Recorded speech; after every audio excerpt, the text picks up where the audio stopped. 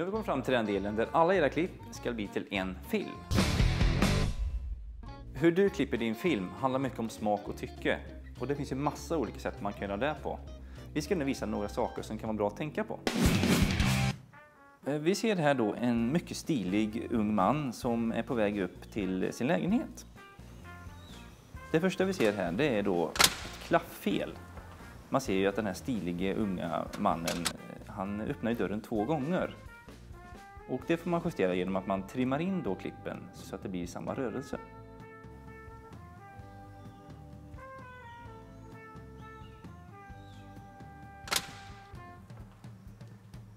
Eftersom den här mannen då bor högst upp i trapphuset så är det ju väldigt, väldigt många trappor som man ska gå igenom eller gå upp för.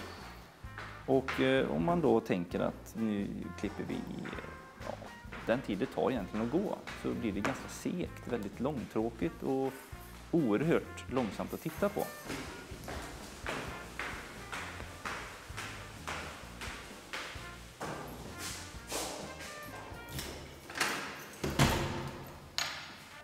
Då ska vi ta till exempel där vi har gjort en tidsförkortning. Vi tar bort lite klipp helt enkelt och trimmar in dem.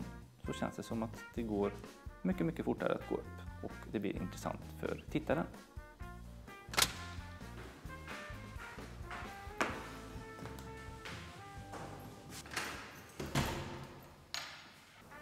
I nästa exempel så har vi kortat ner dem ännu mer klippen och tagit bort några stycken. Så att nu är det egentligen bara tre klipp som förklarar samma sak.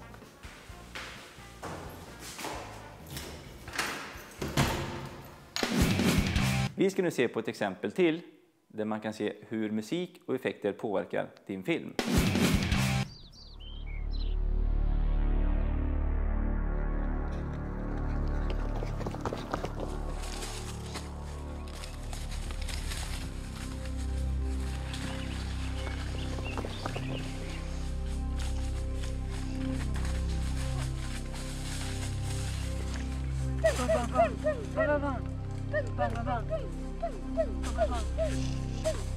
Det här funkar inte.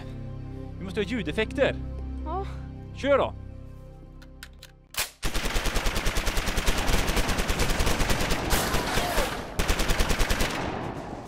Nej, det funkar inte heller. Vi måste ha riktigt ljud också va? Ja. Nu ska vi se.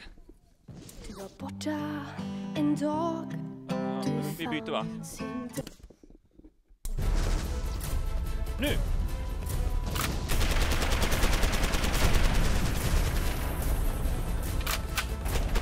Måste få eldflammor också! Kom igen!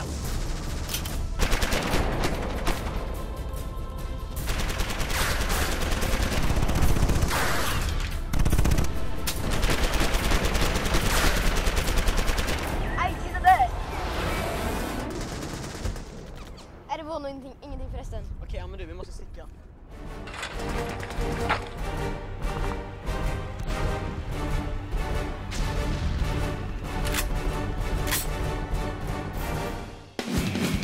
Tänk kreativt, tänk fritt, tänk film. Och lycka till!